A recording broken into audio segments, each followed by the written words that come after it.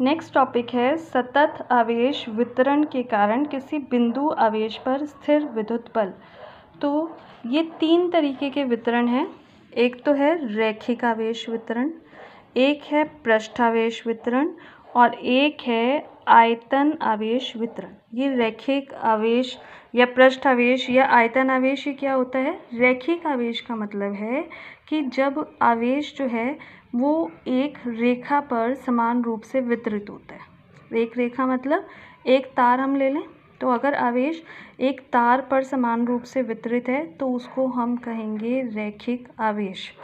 और जो तार का रैखिक आवेश घनत्व है वो हम लेंगे lambda which is equal to आवेश अपॉन लंबाई लेंथ ठीक है? इसके बाद पृष्ठ आवेश वितरण।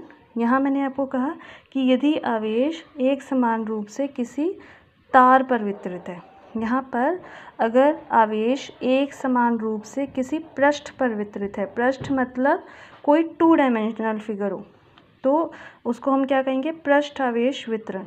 पृष्ठ आवेश घनत्व जो है, वो इक्वल है सिग्मा यहाँ रैखिक आवेश घनत्व था which is equal to charge upon length यहाँ पर पृष्ठ आवेश घनत्व है which is equal to charge upon area that is sigma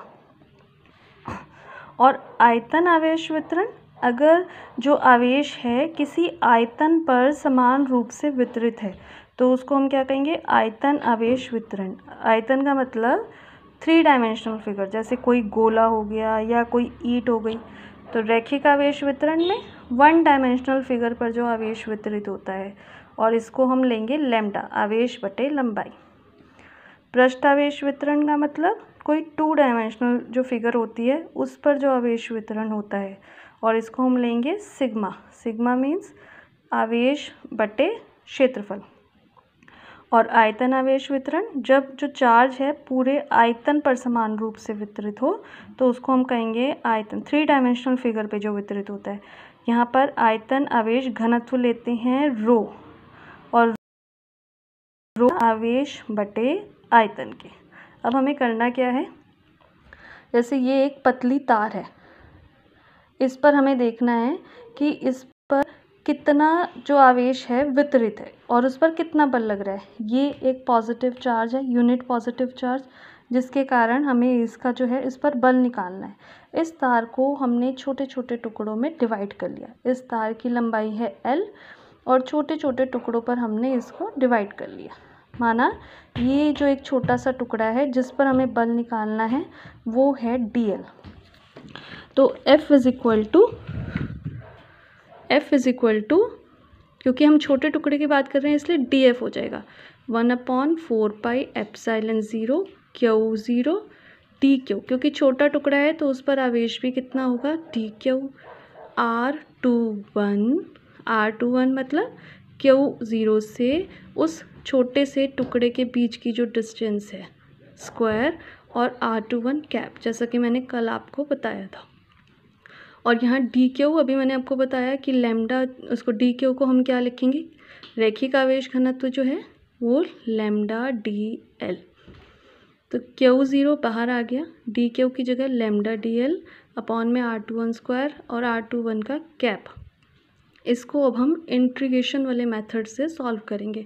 जैसे कि आप इलेवेंथ क्लास में कई डेरिवेशन कर चुके हैं तो क्यू ज़ीरो अगर हमें एफ़ निकालना है तो डी एफ़ का इंट्रीगल करना पड़ेगा। क्यू ज़ीरो बाहर। फोर पाई एप्साइलन ज़ीरो बाहर। लेमडा अंदर। R two one R two one square अंदर।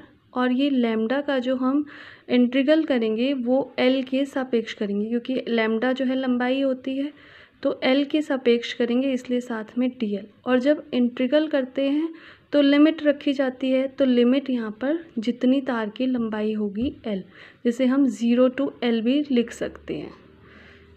इनके आपको डेरिवेशन नहीं करने सिंपली फॉर्मूले आपको पढ़ने हैं।